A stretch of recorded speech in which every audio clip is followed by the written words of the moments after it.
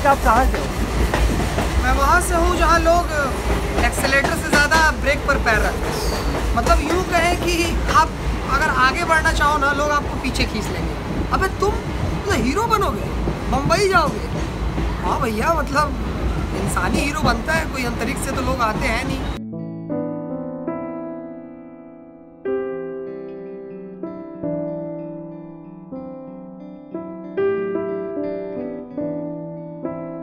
Actually पहले लोग मतलब यू नो आस पड़ोस वाले आपका मज़ाक उड़ाते हैं, लेकिन मेरे तो घर में, मेरे घर वालों ने खुद मेरा मज़ाक उड़ाया है।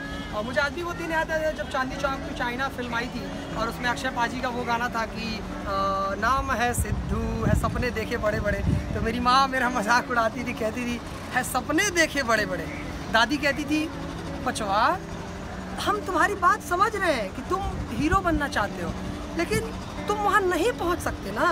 वहाँ सब बड़े बड़े घर के लड़के लोग पहुँचते